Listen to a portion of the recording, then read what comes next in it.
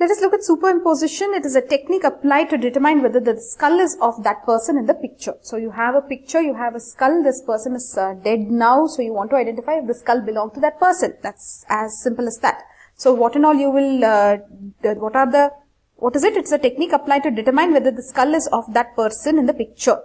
What are the types? You have types, you have photographic, you can use the photograph of that person, video, computer assisted.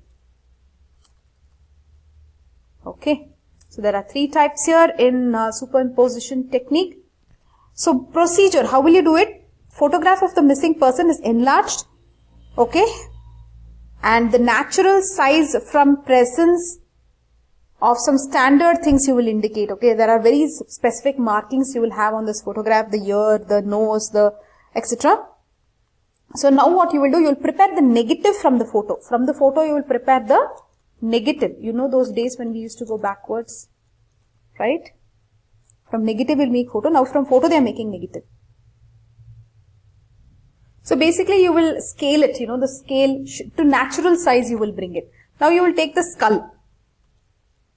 So the skull's negative is also prepared, okay?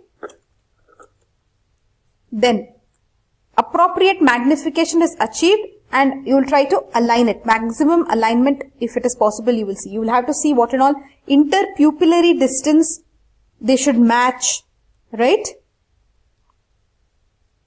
What they are saying is interpupillary distance will never change in a person irrespective of age. Interpupillary distance will never change. Interpupillary distance will never change. Oh, I never knew that. So that is what they are saying. The negatives of both the photograph and the skull are going to be superimposed. Then you are going to use some markings like supraorbital margin, eyebrow, external auditory meatus, orbit of eye, nasal apertures, dentition of lips. All this you will try to um, you will try to superimpose. Okay. Then what you will do? The two superimposed negatives are photographed on bromide paper two negatives. Now they have two negatives, right? Both of these superimposed negatives are photographed on bromide paper. So let's write that here. Now they'll take both these negatives, right? Both superimposed negatives are photographed together on bromide paper. Correct, no? The two superimposed negatives are photographed on bromide paper. Okay, then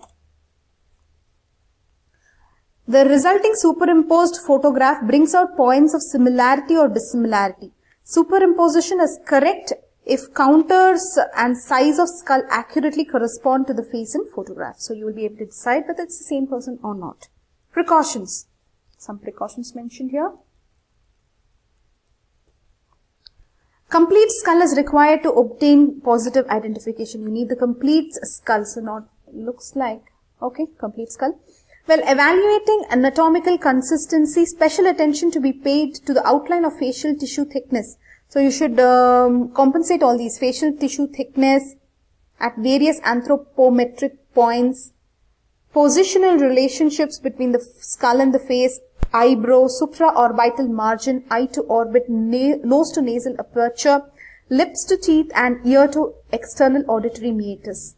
Coincidence of dentition between skull and facial photograph could lead to positive identification. So you have to be careful about these specific bony landmarks and you can reach a positive identification. Okay, medico-legal importance. Let us see medico-legal importance of this. The procedure is helpful to ascertain whether the skull found belongs to the missing person in question or not. If it has more negative value, it can be stated that the skull and the photographs don't match. But if they match, then you can say it could be that person. There's always a possibility that uh, there can be a better match. Okay. So it is just a possibility. But I'm sure that um, nowadays there are better techniques to handle all this kind of identification of bone, bones. What do you say? Yes, okay.